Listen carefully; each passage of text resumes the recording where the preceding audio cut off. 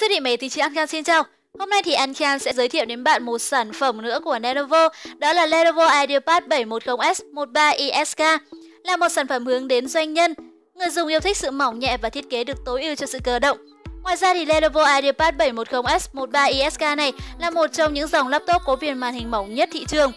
Viền màn hình mỏng giúp kích thước của sản phẩm nhỏ gọn, giúp bạn mang sách một cách thoải mái và thuận tiện hơn. Sản phẩm được hoàn thiện từ khung kim loại nguyên khối với màu vàng gold đồng nhất từ ngoài vào trong.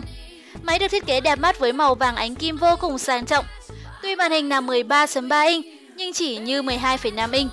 Về tổng thể máy nhìn rất là gọn.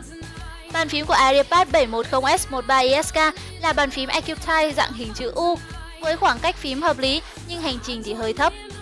Bàn di chuột của máy có kích thước lớn với đường cắt kim cương bao quanh sang trọng, nhạy và cho cảm giác sử dụng tốt nhưng không được mượt mà cho lắm. Mặt đáy là một tấm kim loại liền, khe thông gió dài và hai loa được bố trí ở phía rìa trước như thông thường. Máy mỏng nhưng được trang bị dung lượng pin lên tới 4 cell và bạn có thể xem phim, đọc báo, lướt web được từ 6 cho đến 8 tiếng.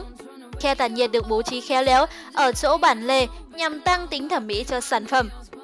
Và do thiết kế mỏng nên việc bị giới hạn số lượng cổng kết nối là điều khá dễ hiểu. Cụ thể thì IdeaPad 710S có một cổng sạc tròn, hai cổng USB 3.0, một cổng âm thanh 3.5mm, một cổng mini HDMI, một đầu đọc thẻ nhớ máy ảnh và một nút One Key Recovery dùng để phục hồi hệ thống trong trường hợp máy bị lỗi. Về cấu hình của máy, đây là một chiếc laptop doanh nhân có thế hệ chip mới nhất của Intel, Kaby Core i7, kết hợp với một RAM 8GB và 256GB ổ SSD siêu nhanh là một lợi thế lớn để giúp bạn giải quyết công việc nhanh chóng và tiết kiệm thời gian. Máy cũng đi kèm với một hệ điều hành Windows 10 bản quyền, cho phép bạn sử dụng ổn định mượt mà các ứng dụng văn phòng. Xét về khả năng hiển thị, Lenovo IdeaPad 710S sở hữu một màn hình 13.3 inch với độ phân giải lên tới Full HD. Công nghệ tấm nền IPS với lớp phủ anti-glare chống chói cho góc nhìn rộng, độ sáng cao, màu sắc chân thật. Thực tế sử dụng ở điều kiện trong nhà cho thấy màn hình có chất lượng hiển thị tốt với độ tương phản và độ nét cao. Màu sắc dịu mắt mang lại cảm giác dễ chịu khi làm việc với các tài liệu văn bản và góc nhìn rất là tốt.